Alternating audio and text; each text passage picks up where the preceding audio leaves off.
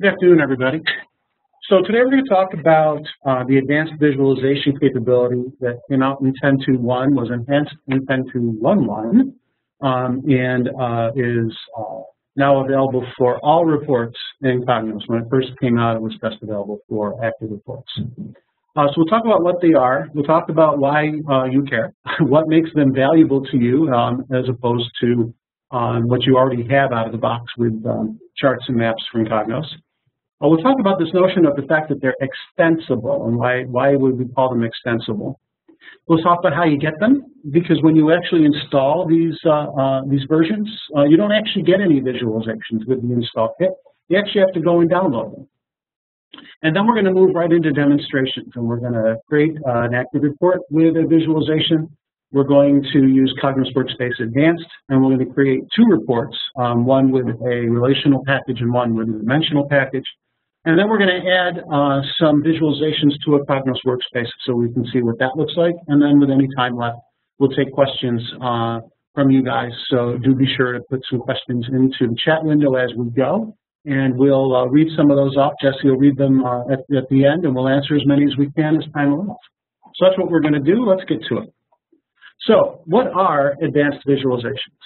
Well, they are uh, a new set of ways to express your data that are in addition to the whole chart library uh, that's already part of your product, or in addition to the maps uh, library that is already part of your product. So this is a, yet another option uh, for me to put graphical content onto a report page, whether that's an active report or whether that's a report that you uh, wrote uh, and view in Cognos Workspace Advanced or Report Studio, um, and even if you wanted to view uh, those reports or pieces of those reports in a workspace. It all works now in uh, the 10.2.1 and forward. Uh, it's based on a new graphics engine that's incorporated uh, in the install called the RAVE engine, which stands for Rapidly Adaptive Visualization Engine. The RAVE engine is embedded in the Cognos server and runs, and when you run a report, it renders the object and it presents that to you just like it renders a chart when you run a report and presents that to you. The other thing, though, that the RAVE engine uh, does is it embeds itself in any active report MHT file that uses a visualization so that those visualizations are actually rendered on the fly within the MHT. So they're not pre-rendered. Um, uh, aficionados of active reports know that um, all the charts in your active reports are actually pre-rendered and contained in the MHT file. Not so with visualizations. Instead, the instructions for the visualization are embedded in the MHT, and the RAVE engine is embedded in the MHT so that those visualizations are actually generated live uh, uh, when you see them uh, when running the uh, active report. And that introduces the ability to uh, introduce animations into the visualizations. It also ultimately will reduce your MHT file size in that it takes a lot less space to store the RAVE engine plus the instructions for the visualizations than it does to store all of the pre-rendered charts very often in an MHT file. So it helps with the size um, and therefore the speed of your active report. And we'll actually, we'll see that um, when we do our active report. It's based on uh, something called the grammar of graphics um, which is, uh, ultimately becomes a programming language, uh, if you will, called VizJSON. So some of the programmers in the audience may know of JSON. VizJSON is a variant of that that's very specifically to uh, express uh, an advanced visualization.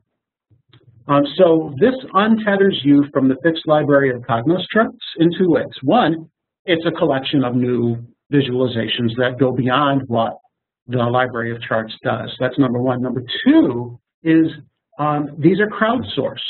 Uh, and uh, people create them and post them to a website called theanalyticszone.com. That's analytics with an S zone.com. And when you go there, you can download these visualizations. So um, they're extensible from the point of view of uh, you can go get new ones and add them to your Cognos environment as uh, ad hoc. They're also extensible because you can uh, uh, change them with a downloadable tool, which I'll talk about in a moment. But first of all, why do I care? Why? Is, how is this an improvement? Well, um, you know, as as we write reports, the whole point of writing reports is to highlight interesting, exceptional data, right? To allow me to make a business decision. And usually the business decisions I have to make are about things that are not going normally. So they're either not going normally good, and I want to find out why so I can do some more of that, or they're not going normally in a poor way, and I want to find out why so I can fix that. So visualizations, uh, as opposed to, let's say, tabular data, are a critical part of reporting because the whole point of a visualization is to zero you in, catch your eye, and have you see what is exceptional in terms of the data being presented. So having a whole new library of things that will do that for you, a whole new library that includes things like tree maps, network maps, uh, on heat maps. Uh, those are all types of visualizations you could download um, those can help you zero in on anomalies, on opportunities, either for continuing good stuff or for addressing things that are, are, are not going well before they become a big problem.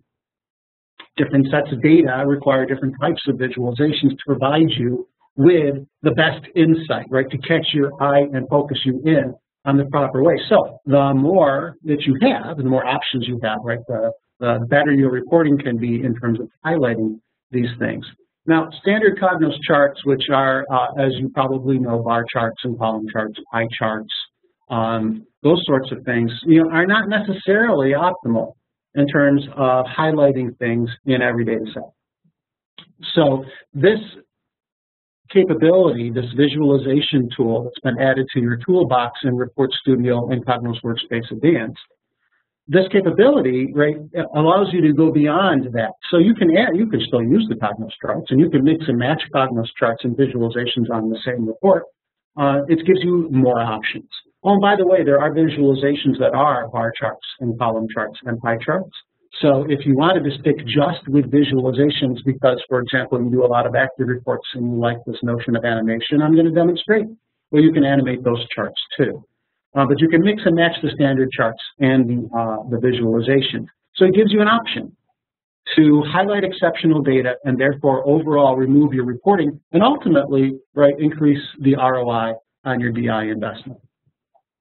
Okay, the extensibility thing, right, is that you can download the ones that others are creating, so you're not stuck with the ones you create, which implies that you can create some yourself, and that is absolutely true.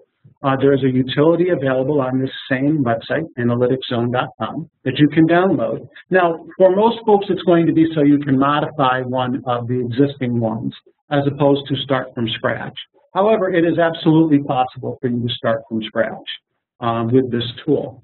But the notion is this tool allows you to uh, uh, if you desire to. You don't have to, but if you want to, you can download this tool and you can edit the VizJSON programming language that describes the visualization. And then you can package up your visualization, upload it to your Cognos environment, and then folks can add your visualization to their reports. So there's a, a visualization customizer that we'll uh, download. I'll show you how to get that in a moment. Um, and I'll also show you how you download the 30 or so visualizations that have already been posted to the analyticszone.com.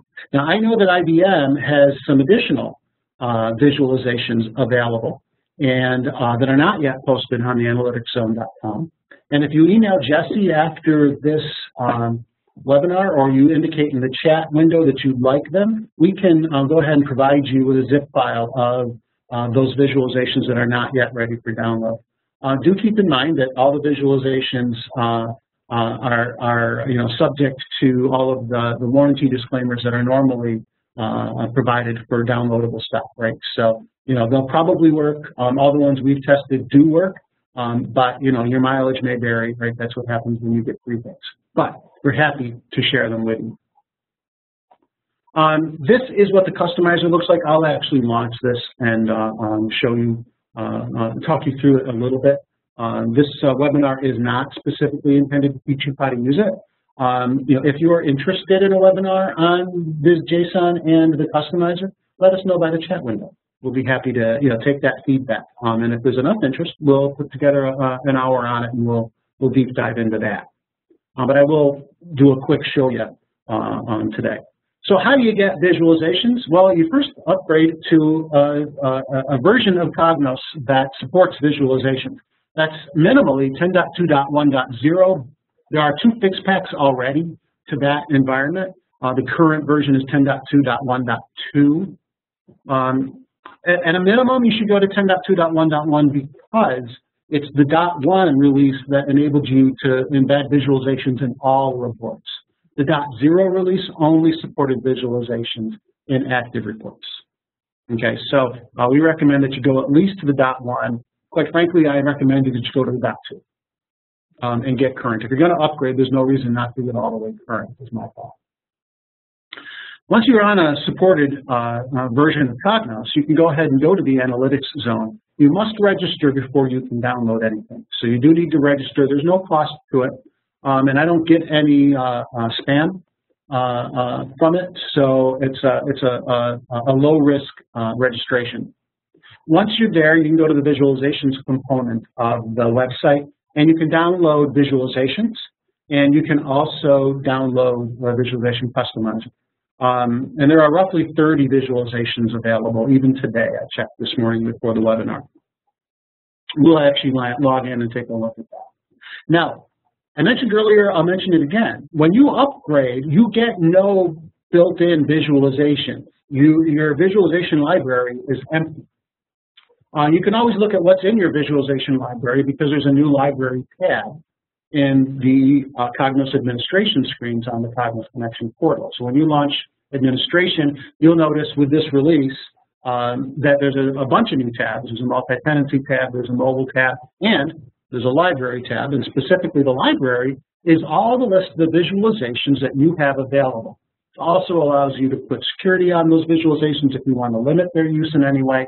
Um, but this is where you go to manage the visualizations that are in your uh, environment. And when you first install this release, this screen is empty.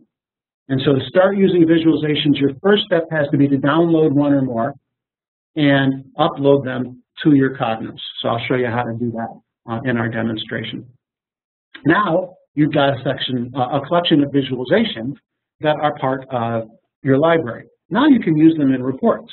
The way you use them in reports is you add a visualization from the toolbox. So the picture, the screenshot here um, is Report Studio. Uh, Cognos Workspace Advanced has the same tool, and it works the same way. It launches a wizard. You can see the, the wizard starting page right there that shows you the contents of your library and allows you to pick the visualization you'd like to add to your report. You want to add three visualizations? Drag the visualization tool on three times. No different than adding multiple lists or cross tabs or charts or maps and so on to your report. So there's a brand new tool. It's got a, a, a quick wizard that's basically the which one do you want, um, and then it drops it in, and then there's drop zones. Uh, there's like a series and a category and a measure drop zone. It's very similar once you've added it to your report to configuring uh, a standard Cognos chart. The important thing to remember with visualizations, though, is every drop zone must be filled out. In other words, with a standard chart, I can fill in just a category and a measure, and the chart will render. Not so with a visualization. Visualizations require that all your uh, your drop zones have at least one value in them before they'll render. At least all the ones so far. So let's stop talking about it and let's actually take a look at doing it. So I'm going to first start out by adding a visualization to an active report. Then I'm going to go to a standard report, you know, a non-active report uh, using Cognos Workspace Advanced and add the visualization there as well. I'm going to actually do that twice. I'm going to do that once with a relational package. That'll be, uh, uh, and I'll use a different visualization than I'll use in the active report. Then I'm going to use the same visualization, but I'm going to switch to a different package. I'm going to switch to a uh, dimensional package, and we're going to look at how drill downs work with visualizations. Then I'm going to take those uh, reports that I just created, and I'm going to create a quick Cognos workspace so we can see what visualizations look like in a workspace. So that's uh, the demo that we're going to do. So let me get to it. So I'm going to close my slides. And the first thing I'm going to do is I'm going to show you my administration page. So I go to my library on my environment, you'll see I've already loaded three visualizations there. But if you, if you're just getting into this, you haven't loaded any, you'll actually start on the um, analytics zone. So here's uh, the analyticszone.com. I've just uh, I typed that in for um, simplicity to get here. Um, you have to register, and then you have to sign in in order to download anything from this site. So I have registered. If you haven't, click on the sign in button and then down here do the join now. It's free process. But I have to um, log in and put in my password. And now that I'm signed in, I can download things. So once you're logged in, what you want to do is you want to get to the uh, visualization section. So if you hover over downloads and trials, down will drop a menu, and the first item on the menu is visualizations. You're going to want to click that. Now, when you get to the visualization section, you're shown right away the collection of visualizations available for download. So, uh, you know, there's things, um, there is a download all the visualizations at once option. So you download one object, and this gives you all 31 visualizations that are available. It's actually all 30 because this is one of the 31. Um, so, so you have to unzip this. Now, inside that zip file is a bunch of other zip files. Don't unzip twice. So unzip this, get the list of zip files. Those are what you upload to your library. If you download just the area chart, um, or just uh, the box plot, or just the packed bubbles, um, those come down as zip files. You don't unzip those individual files. Those are what you upload. You upload them um, compressed. You don't unzip um, and upload the pieces parts okay? But you download them from here. Now, if you're interested in getting the utility and downloading the utility that allows you to customize uh, these visualizations, you need to click on the utility link here on the left, and you'll download the utility. Here's also where you'll download the documentation for the utility. Don't forget to download that as well. So this download button gets you the utility. Um, that comes down zipped, uh, and you have to uncompress that. And there's no installer, once you've uncompressed it, you're ready to rock. You just double click on the jar file uh, and, uh, and you go. So you download the utility by clicking on the utility. Okay, you uh, uh download the visualizations by uh, clicking on one or more of the visualizations, or you can get all of them uh, at once by doing the all visualizations. So if you did click on all of them and you got them all down and you unzip the file that comes down from there, then you will have a collection of zip files that look like this. So packed by uh, packed bubble chart, there's your column charts for your stacked and your 100% stacked column, and then this is just your standard column. Um, there's the bubble chart, the box plot, and so on. So all the ones that you saw as I scrolled up and down the analytic zone, you know, okay, they're they're down here now as samples. So this is, you know, I downloaded one zip because I downloaded them all at once. I unpacked that zip, and that gave me this collection of individual zips that I now want to upload to my administration screen. So they're sitting on my desktop, right? They're, they're just they're on my PC. I'm not remoted to my Cognos server. That's not necessary. Um, I've downloaded these to my PC. I'm going to go now back to my library tab on the administration. I'm going to click up here on the import visualizations button. I'll click that. It'll let me browse now on my PC to where I have stored the visualizations and let me pick the visualizations I want to import. I can only pick one at a time. So um, I'm going to just drag, uh, I'll just import a couple. So you can import them like that. I'll just get a couple on um, and add them not important which ones really here, but are you going to want to do this to all of the ones you downloaded that you'd like to make available. Once you've got them listed here, you can click the import button. It imports all of them. Um, if you are replacing an existing one, you can check the box here so it'll just auto overwrite. But ultimately, you're going to get one or more visualizations in your library, just like I have.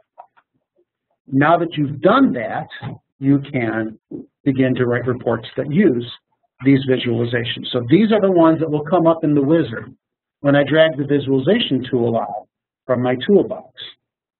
Now, if you also downloaded the customizer, when you unpack the customizer uh, zip file, you'll see it, it has a, a, a property file, a jar file, and a bunch of folders. Now, you unpack this in any folder, and you double-click on the jar file, and it will launch the visualization customizer. I'm going to do that right now uh, and launch it here. So this is the UI for the visualization customizer. And again, my goal today is not to customize a visualization and teach you about that and VizJSON. It's merely to show you this quickly so you have an idea of if you downloaded it, how you might go about playing with it. So I've launched the visualization customizer by double clicking on that jar file. I do file open, and any one of those visualization zips I downloaded, I can open here. So I'm going to go ahead and open, um, let me open up uh, uh, the network chart. So I'll open that guy up, and uh, I don't know what that message was about. Um, but here is uh, the VizJSON code. Now, do you ever know, wonder how the the icons for Uh, uh, uh, in, in, Report Studio when you drag them on and it shows you like an empty chart with bars on it, where that came from and where the labels and the data to generate those bars comes from? Well, in visualizations, it's actually embedded in the VizJSON. So you know, the, the fifth edition, sixth edition, seventh edition that you see over here, so there's a sixth edition entry, seventh edition, eighth edition entry. Well, that data that renders this guy, which becomes the default rendering when you add it to your report, that's actually data embedded in the definition of the visualization. Um, and then you get into the grammar, and you, you talk, there's different elements of the grammar, and there's different uh, um, uh, properties for each thing, like there's a shadow and the shadow has a color, here's a font and this is the font size in bold, there's a default alignment and so on. Um, there's stuff in here about uh, the uh, axes, if this is an axis-oriented chart, you know, the fill is transparent. So you're really describing with VizJSON the visualization, um, and then the Rave engine renders based on your description. And over here is uh, um, a rendering of what my description says. So as I change it over here on the left, it updates over here on the right. I can also package with this, um, and I uh, um, can then create a new zip file, which I can then upload to my library. So that, in a nutshell, is what the visualization customizer thing is all about. So that's the, the quickie on the customer. So here is my library full of visualizations that I'd like to have my users embed in reports. Now I'd like to write some reports. So I'm going to launch back into uh, my Cognos Connection site and out of administration, and I'm going to go uh, in as an author and write some reports. So in my My folders, I have a, a, folder, and I've got a couple of starter reports. Just for the interest of time, um, I've got an active report starter that I'm going to edit, and I'm going to add the visualization to a partially written active report um, because this isn't our active reports webinar. So I'm only going to do uh, the piece that's uh, visualization specific. We do have an active reports webinar. It's available out on YouTube. It's also available by going to our website. You can uh, access it there. So active report underway. Uh, I have in this active report a, uh, a button bar up here that allows me to, to select regions. So this would be a data button bar. I have a second data button bar that allows me to select a couple of different product lines. And right now, my selections here um, uh, uh, will select uh, a list to show that gives me information about countries, revenue, and gross profit uh, for the selected product line and the selected region. Okay, so that's already in and working and um, um, runs uh, fairly quickly, so I'll show you what it looks like. We're going to add a visualization to that, and that visualization is going to uh, sit over here on the left-hand side uh, uh, in this space. Uh, so Asia Pac, there's my Asia Pac countries for camping equipment, and there's my revenue and gross profit. That's the same, but for golf equipment, there's my Northern Europe data and so on. And my goal is to add a visualization here. Uh, and I'm going to use something called a packed bubble. And that's going to render uh, information. I'm going to go ahead and render uh, revenue in my packed bubble, and it's going to be by the product type.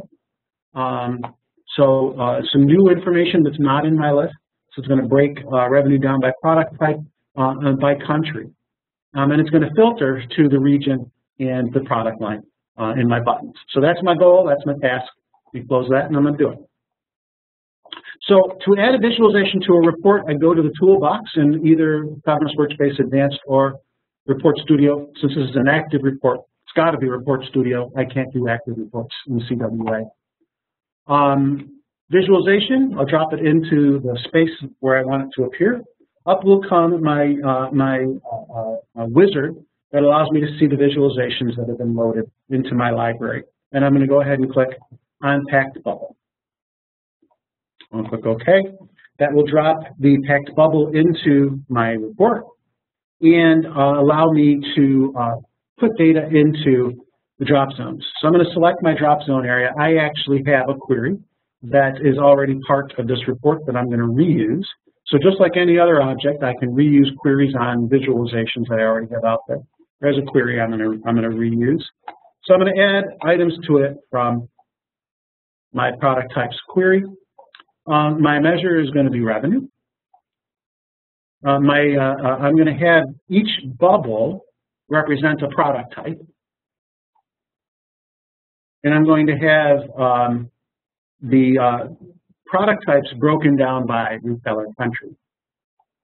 Now, I'd like to filter this data by the region and the product line, uh, right, that the user selects up in the buttons at the top. So I have to have those be part of my object, but just not visible. So I'm going to drop those into the extra categories drop zones. So that way I can use them to control the data rendered in the visualization, but they're not going to be visible on the visualization. So my visualization is actually all, all set up. It's really all there is to it. Not a heck of a lot different than doing a column chart or a pie chart in terms of drag it, drop it, see it. Um, the difference is, of course, it's a clustered uh, uh, set of bubbles, not a column chart, right? It's it's it's it's a different visualization than what I had in my chart engine. Now, the other thing that uh, active report aficionados who have already noticed, but, uh, uh, but I'm going to mention anyway, is that I did not drop my visualization into a data deck. So if you're an active report author, you know that in order to present um, a chart uh, Uh, to your user based on the values they pick in a prompt like those buttons at the top, you have to place that chart inside a data deck and then you need to use the variables that the two buttons are populating to select the card from the deck to turn over that shows the chart that corresponds to the values in the button bar. That's not how visualizations are done. So unlike charts, and actually I have a deck over here where I'm doing the same activity, but instead of turning over a card with a, a chart in it, I'm turning over a card with a list in it. I am not doing that with a visualization. I put visualizations in and I filter the visualization using the variables that are set by other controls. So I need to set the filter property for this particular visualization so that it's filtered by region and product line. So I'm going to go ahead and go to the container filter and I'm going to add that the product line matches the product line variable that buttons up uh, over here on the right that you can't see populate, and because it's got to be, it's got to match both, that the region matches the region variable data that these buttons up here at the top populate. So I click on a region, it drops which region I clicked on in this variable, then it filters the visualization so the data it shows matches my region and my product line that I've selected. So that's all active report specific stuff in terms of how I connect items on an active report page. Now, in an active report, I have a cool option that I'm going to turn on. And that cool option is animation. Because the Rave engine is embedded in the MHT file that the active report creates, um, I can, it, it, and it therefore renders this visualization on the fly. I can turn on an animation property, so it will actually make the, uh, the visualization uh, even more eye-catching. So I'm going to select the visualization and I'm going to go for animation effect. I'm going to go ahead and use transition. Uh, you see there's, there's several different options here. I happen to like transition with this bubble chart. So there you have it. I am ready to rock. Um, I'm going to go ahead and uh, run this report and test it out. So uh, I'll still have the same buttons across the top. I'll still have the lists on the side that show me uh, revenue and gross profit. But now I'm also going to have on the left-hand side, a clustered bubble. And as I change my buttons here, you'll see the animation effect that I was talking about. Now, does the animation teach me anything new about the data? No. It's eye-catching, though, right? And sometimes the hurdle to get over and introducing a new report to an audience is not necessarily um, uh, uh, uh, anything more than getting them to actually try it. and use it. And if uh, animation on a visualization entices somebody to actually try out the report and learn to appreciate the actual data that's on it, well, that's a really good thing. So for me, the business value of the animation is to getting people to, is enticing people to use the active report that you spent so much time building and actually leverage the data that is presented in the visualization. So um, you don't have to turn on animation. As you saw, there is a property for animation of none, so you don't need to. Um, but if you wanted to, in an active report, you have that option. Now, this active report is about three and a half megs.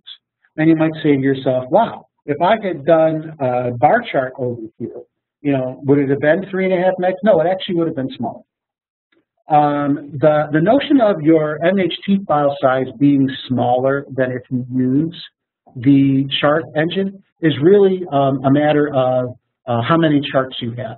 As the number of charts goes up, right, the size of your uh, MHT file increases uh, almost in a linear fashion. So the more charts equals the bigger size of the MHT.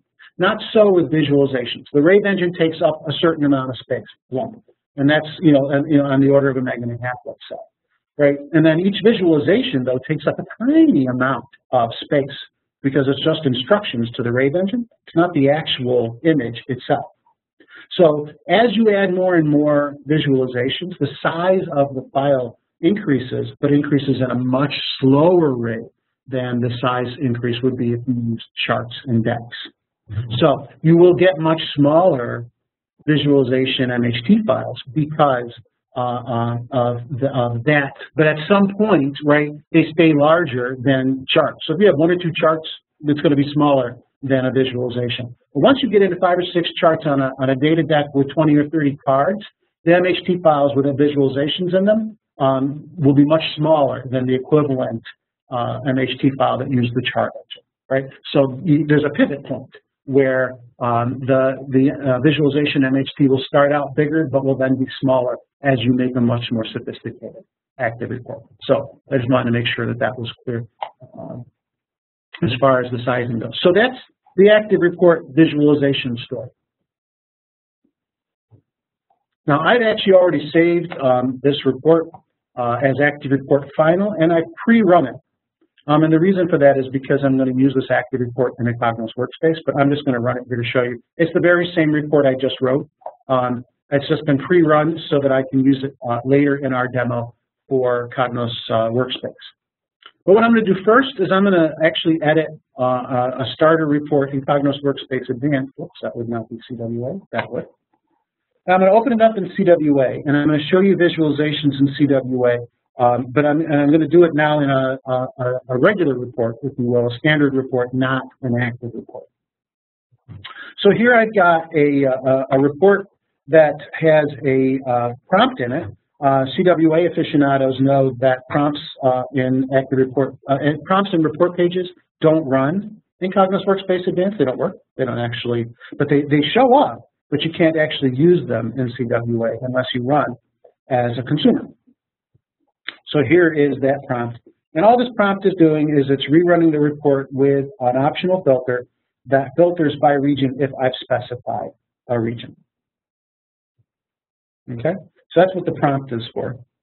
Um, but I can also have nothing in the prompt and have it give me a grand total across uh, all regions. So that's what this report is doing. And I'm in CWA, and I'm going to add a visualization to my report in CWA. So same basic process, go to my toolbox, find the visualization tool, drag it to the position I want in my report. And all the things you know about layout, like putting things into blocks or putting things into table cells, those all still apply in terms of laying out uh, reports with visualizations, absolutely.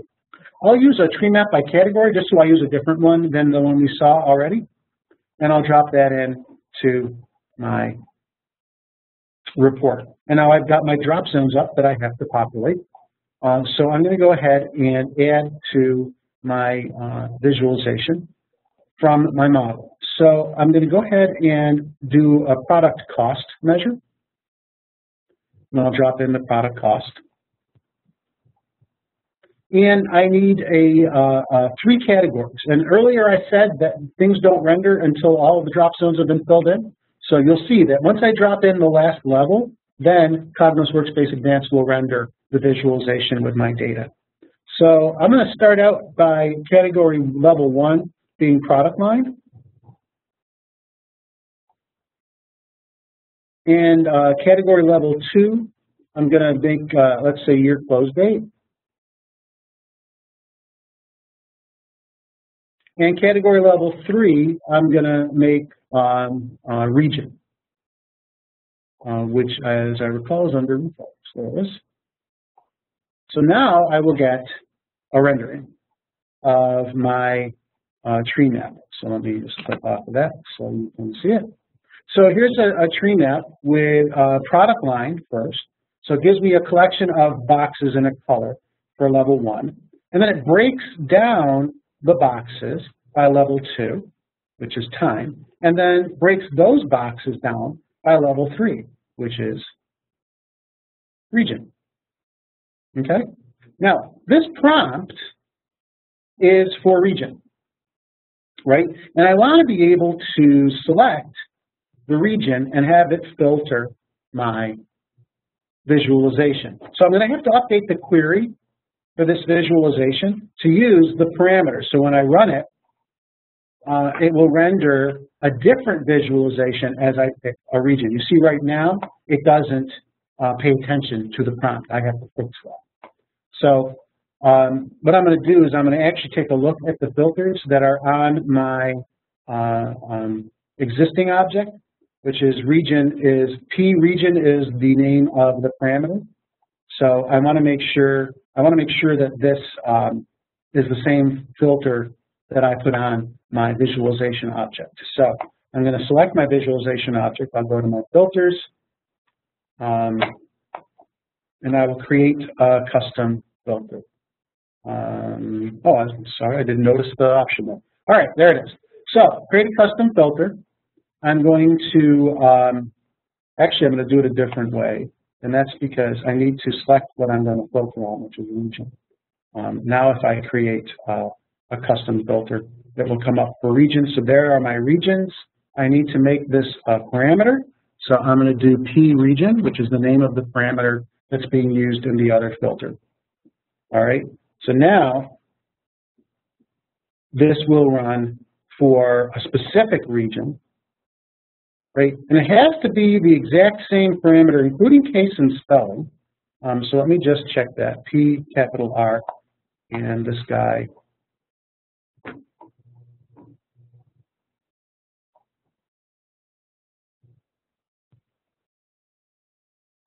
Why can't I see my, oh, that's why. No. Hmm. Well, I'm not going to waste your time looking for the right place to click to check it. I'm pretty confident. Nope, I didn't do it. And the reason, because I, am getting this, um, so I don't believe this is going to change this guy down here. Nope, it's not. So I must have misspelled the parameter. Um, you know, so there you go. Live demo, ladies and gentlemen, live demo. Um, oh, you know what? Oh, let's see. Um, filter, edit filters, region, p region. So it's lowercase p, capital R, region. And here it is be interesting. Um, well, I didn't make it optional, so I do have to change that. Um, oh, there's that silly, it's not letting me edit my filters thing. Um,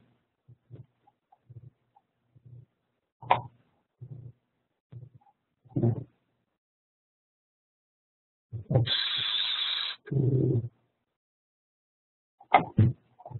Let's make it optional. I may have to go in Report Studio to make this work. Yeah, this is the uh, you know live demo. No, I got it right. I just didn't make it optional. Great. So, all you out there who are saying, Rich, you didn't make it optional. That's why you got the generated prompt. Thank you. I eventually heard you. Someone actually did that. Yeah, so I eventually did hear you, even though I didn't, I can't see the chat window. Um, there you go. So um, CWA rendered using a, a, a prompt, right? It's updating both of my objects. Standard normal report. I can download this guy as a JPEG, just like I can a uh, uh, any chart that's rendered. Right, so there's the JPEG I just downloaded. So just like I can download any chart JPEG. So very similar, very similar to um, uh, what I get with a chart, um, but I get a whole different way of looking at the data. Um, actually, 30 different ways of looking at the data. And you see, it even has the the callouts that tell you what each box represents, right? And you know, and if I go back to all regions, right, it'll actually, uh, um, you know, the callouts contain all of the data you need to understand. So that's a visualization in a CWA report, uh, as well as a, uh, a quickie on how you get uh, optional prompts to work in CWA. Um, there you go. Now, this is a relational package. This is not a drillable package, right? It's not based on a cube. I'm going to write a report that uses the same visualization, but I'm going to do it from cube data so I can show you um, how drill down works uh, on a visualization. So that's what I'm going to do next. So I'm going to go ahead and save this report. And I'm going to start a new report. I'm going to do this in Report Studio. And I'm going to use Go Data Warehouse Analysis, which is an OLAP package. Now, I'm not going to put prompts in it or anything like that. Um, uh, I'll actually uh, use this in my Cognos workspace, workspace example, and I'll drop a filter into workspace uh, rather than dropping in a, uh, uh, a filter here. So I'll create a new report. I'm going to do a blank report. Uh, there is no pre-built visualization template, so I'll do a blank report. It'll load up my dimensional package.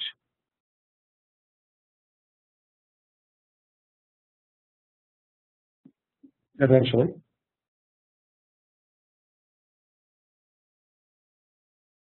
Now, the point here is that I'm going to be using a dimensional um, uh, uh, source, and I'm going to turn on drill down in this report.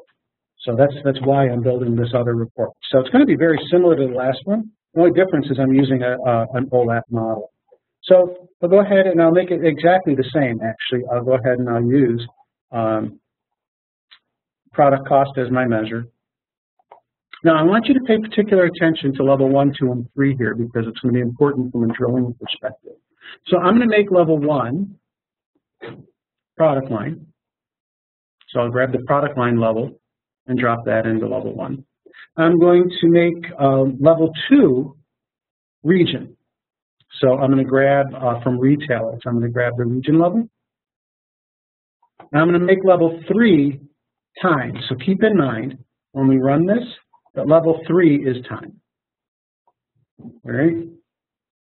So I'm going to. Uh, uh, so I'm done. I'm actually done. The report's written.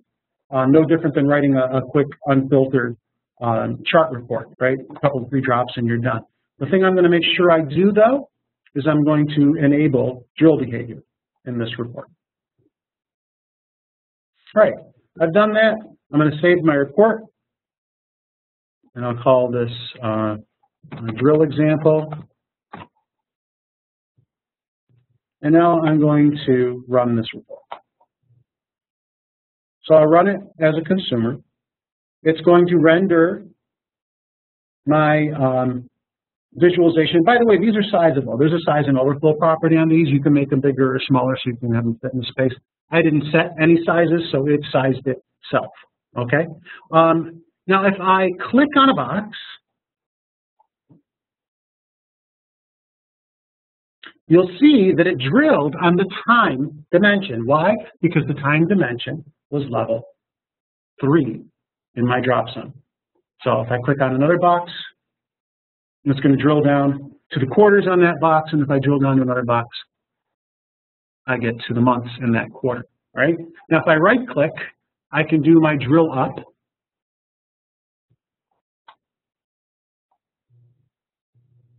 Okay, but how do I drill on the region to get to say, uh, you know, the the uh, the countries in Central Europe?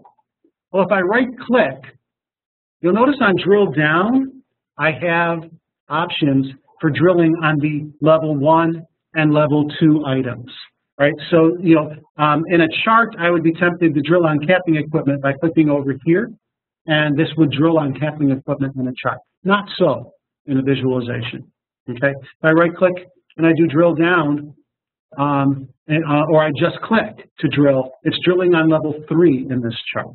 Um, if I'm going to drill down on camping equipment, I actually have to right click and select it there. See now I've got sleeping bags and lanterns and I can do that for all of the countries in Asia Pac and then I can drill on my different levels right based on um,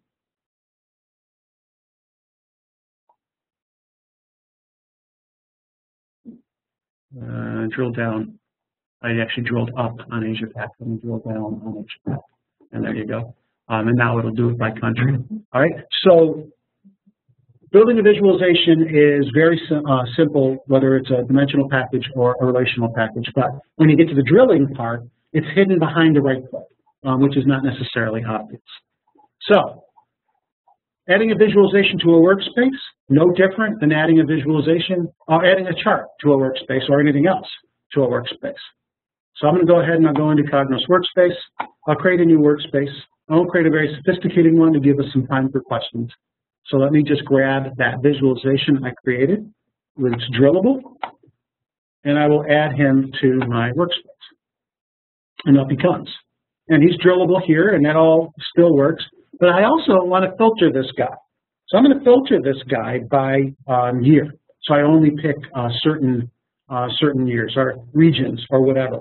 Um, any visible item on this chart can be uh, uh, immediately filtered by going to the toolbox in Workspace and dragging over a filter. I'll drag over a select value filter.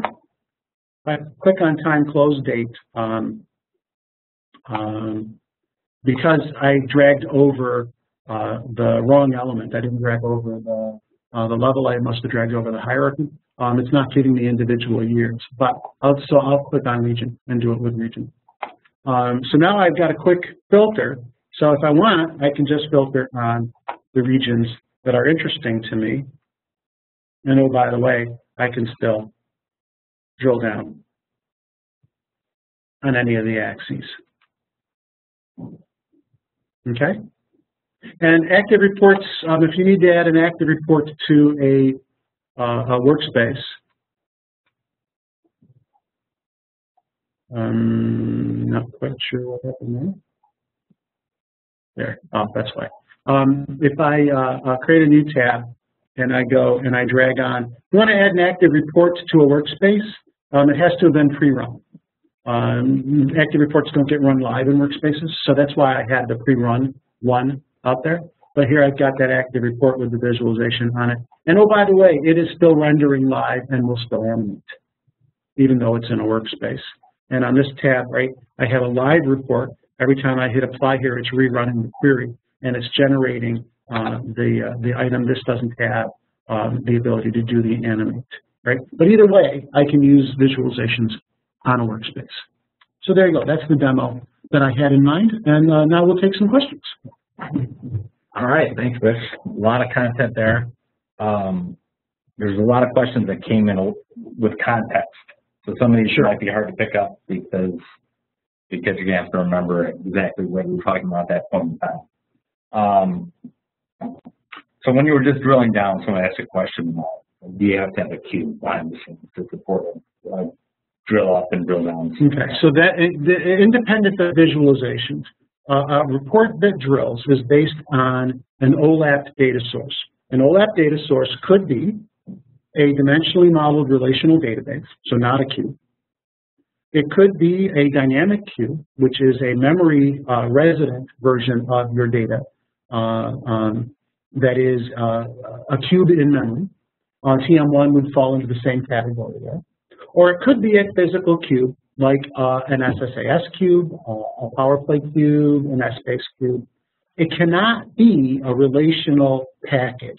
So I can format my relational data using a technique called DMR and make it drillable in the framework manager model. But straight up relational data, rows and columns, tables and columns, that's not drillable. I have to have formatted it into an OLAP model using DMR, or converted my relational data into a cube, whether that's a memory resident cube like TM1 or a physical cube like the Power Cube. Okay. Then it's drillable, and only if I turn it on like you saw me do. And there's a related question, how can I make the drill up and drill down work on the answer. Yes, so in order to make it work, you have to author with an OLAP package, A, and B, you have to enable drilling for your consumers. So there's two steps. If you author with an OLAP package, if you don't enable drilling, when they run the report, it will not be drillable. Okay, great.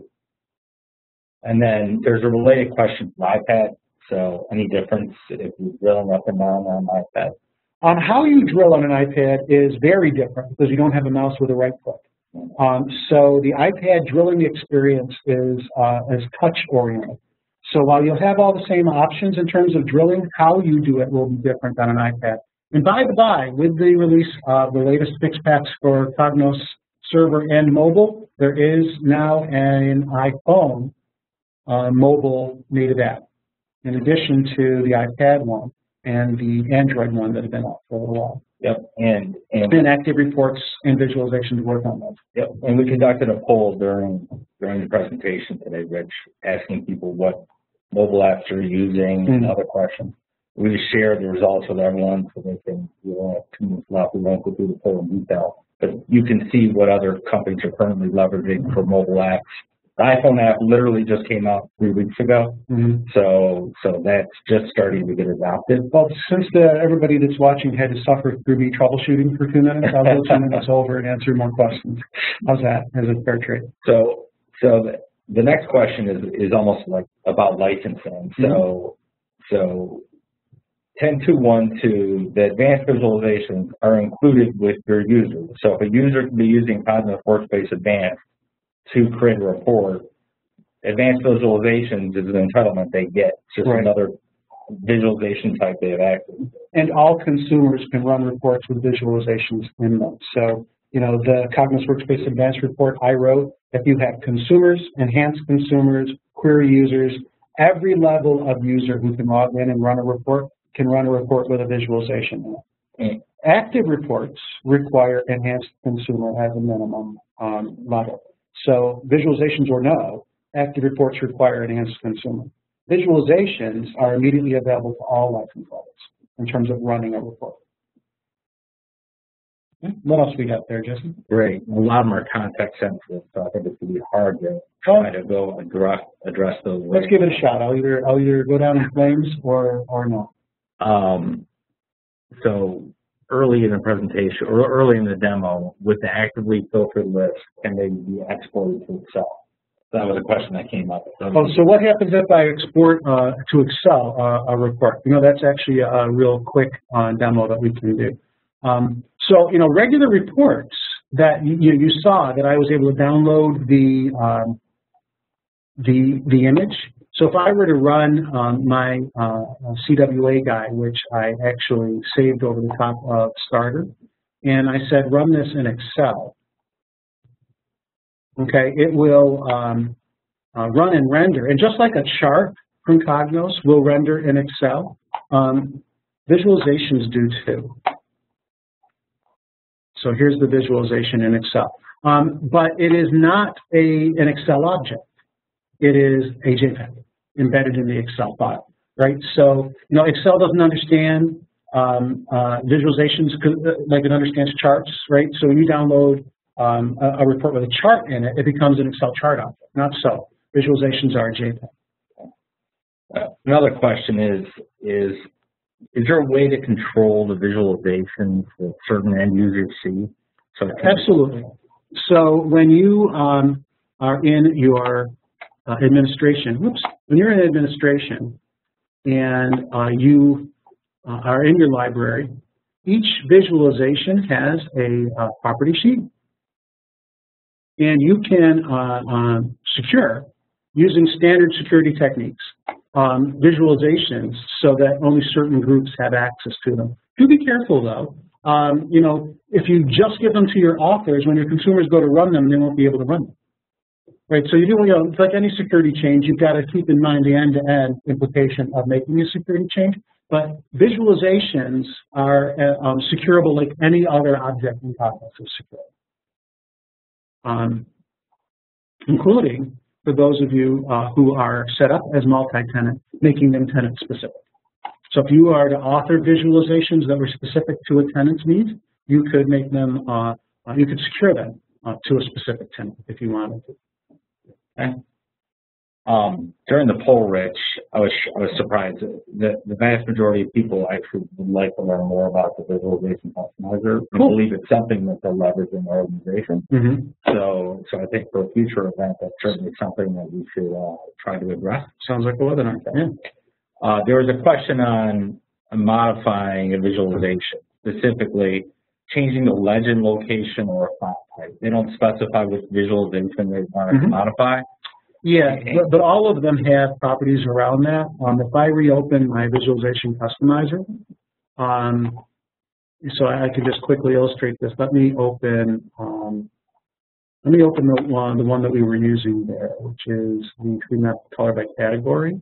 If I remember correctly, um, and uh, you know, ladies and gentlemen, live demo, um, the uh, the title, um, you know, so the fill, let's see, uh, as I recall, right in here, there's like a, a legend position. So one of the value, the value set here is right. So if I wanted to move it, I could change this, uh, this value right here, save this package it, upload it, and now it's moved to wherever I specify. So that is absolutely part of this biz JSON, as it controls the entire look and feel of the, uh, uh, uh, uh, the element. Includes, uh, even when you, whether or not it's animatable. Okay? All right. All Um, right. This will have to be the last question. Is there anything left? uh, font values.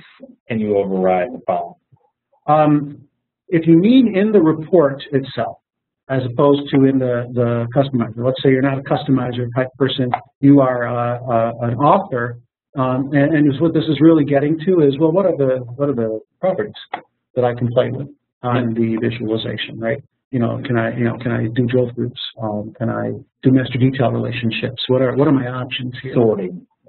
Right, right. Another question. Yeah, so, um, you know, if I pick the measure, um, you'll see that I can deal with, um, uh, the ranges, um, just like I can with charts.